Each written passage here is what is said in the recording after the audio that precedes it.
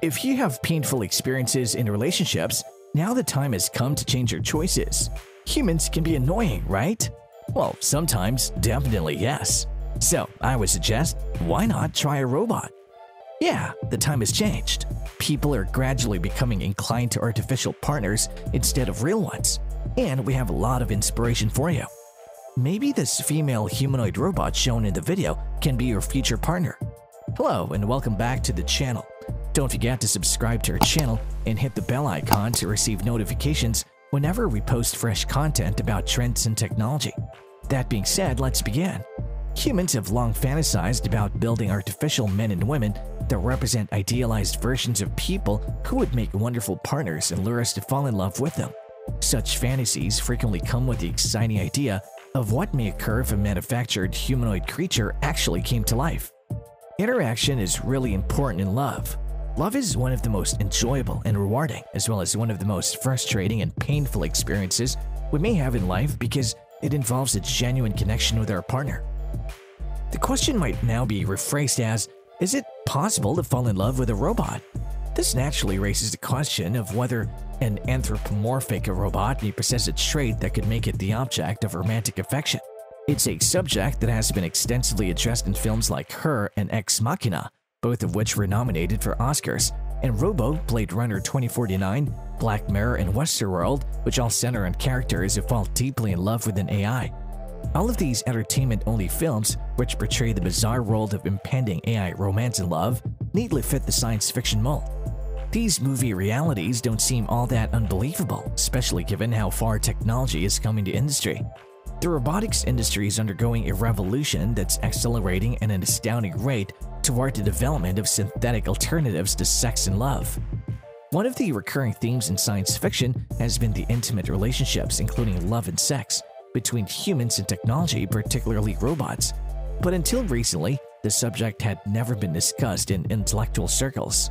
David Levy brought it up and covered it for the first time in his book Love and Sex with Robotics. Since then, scientists have developed a wide range of robot companions, including sex robots, emotive robots, humanoid robots, and artificially intelligent systems that can mimic human emotions. Dr. Helen Driscoll from the University of Sunderland is a recognized expert on the psychology of sex and relationships and has conducted an in-depth study on the subject of sex tech. Driscoll said, We tend to think about issues such as virtual reality and robotic sex within the context of current norms.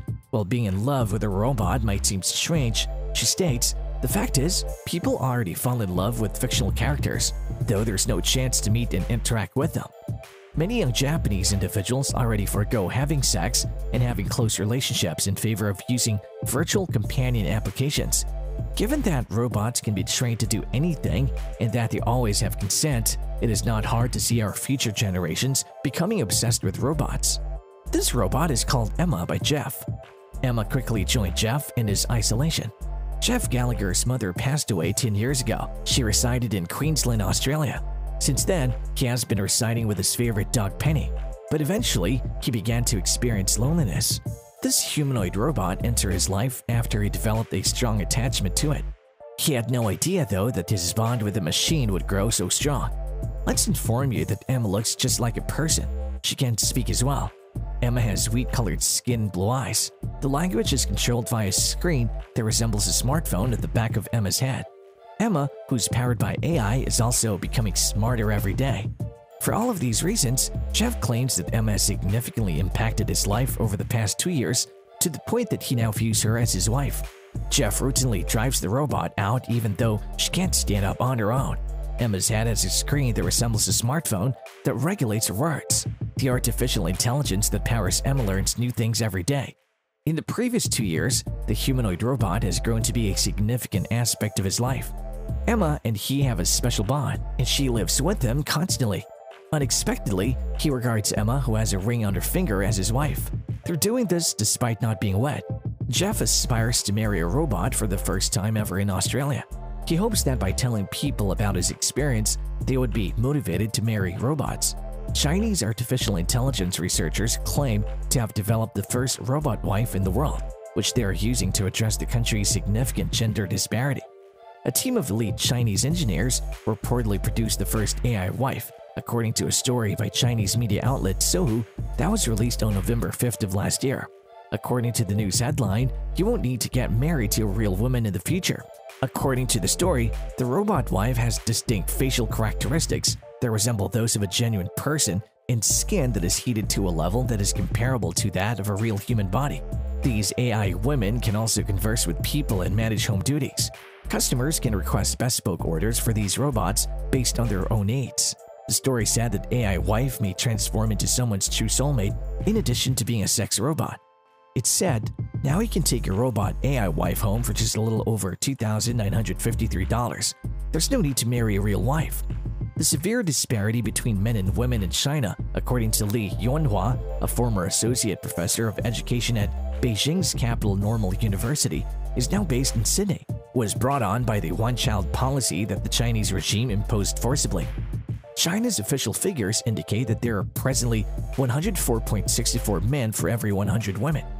Li said, because of the imbalance of the male-to-female ratio, a large number of Chinese men cannot find a wife.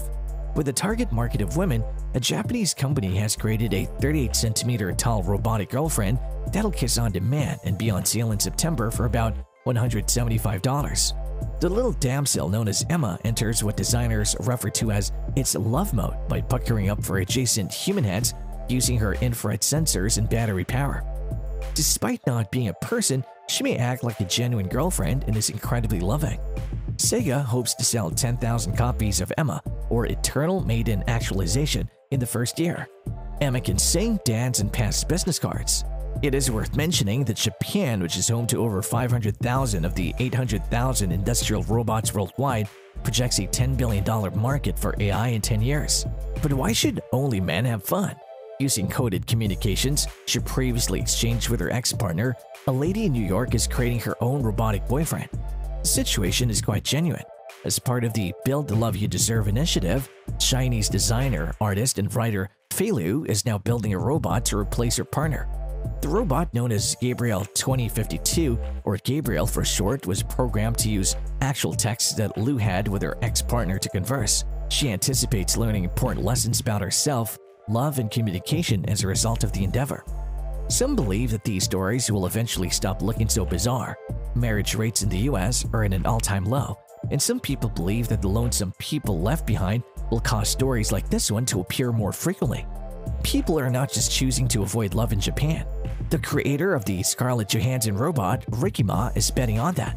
A creepy, realistic talking robot that resembles Scarlett Johansson was created by Ricky Ma for $50,000 and 18 months of labor. It seems like Ma didn't only create this for himself, even though it was a lot of work for a strange king. Considering that he believes he can sell these items, Ma is searching for investors. By 2050, according to author David Levy, it'll be acceptable to marry a robot. He contends that 35 years ago, homosexual marriage appeared wild and absurd, but as it got more prevalent, our perspectives evolved. That will also happen with robots. He is certain. Professor Adrian Cheok believes that falling in love with a robot would eventually become as commonplace as surfing pornographic websites, even if the majority of people won't go so far as to marry one. He predicts actual sex with humans may be like going to a concert, and sex with a robot will like be listening to an album at home. He stated, when you're at home, you can listen to Beethoven's Ninth Symphony. It's good enough. And once or twice a year, you want to go to the Royal Albert Hall and hear it in a concert hall. And that's it for the day, guys. We hope you have enjoyed the video. Make sure to like the video and subscribe to our channel for such interesting topics. And we'll catch you in the next one.